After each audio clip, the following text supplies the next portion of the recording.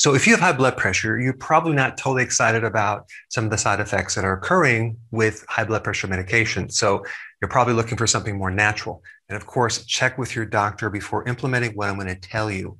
But as you research the, to find the underlying cause, I'm going to give you a really good solution to help bring down your blood pressure in the meantime that has virtually no side effects.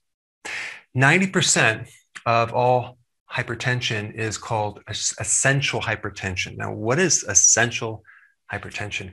It basically is a type of hypertension that has an unknown cause. They don't know what causes it. Okay. Um, well, I'm going to give my viewpoint on that.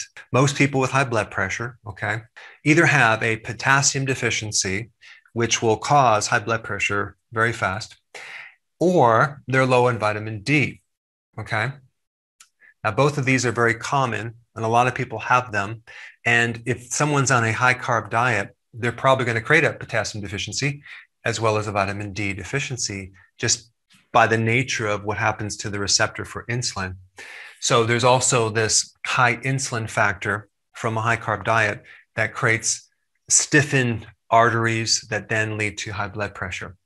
You can also get high blood pressure from stress and high levels of cortisol as well, but uh, I'm just talking about the, the main things that cause high blood pressure. If you're low in potassium, your arteries get stiff. So potassium helps to make your arteries nice and supple and flexible and elastic. If you're low in vitamin D, which by the way, it's not really a vitamin, it's a steroid, um, and it works with other hormones, you can also develop problems within the inside layer of the artery, which then can trigger higher amounts of pressure. So there's a great solution. When I say drink one cup, I'm really saying drink a very large cup, okay? Because this recipe of things I'm going to tell you about exceed just one little cup. But here's what I'm going to recommend to put in this cup. And you're going to first blend everything except this right here, uh, flaxseed. You'll grind it and you'll just take two teaspoons and you'll grind flaxseed. Now, why flaxseed? Flaxseed has compounds that give very potent hypertensive properties. So it helps to lower blood pressure. Plus, it's very high in something called ALA. This is a precursor to EPA and DHA, which are the omega 3 fatty acids. So it can help restore artery function. Okay. So we're going to grind two teaspoons of flaxseed, put it in the blender. Number two, celery. Celery has something in it called phthalides. Okay. And this compound not only helps you lower blood pressure, but it also helps you sleep. So if you get some organic celery, take two stalks, maybe cut it up a little bit, stick it in that blender. All right, number three, avocado. Why? Avocado is a food that has a huge amount of potassium. And so we want to somehow spike the potassium in this drink.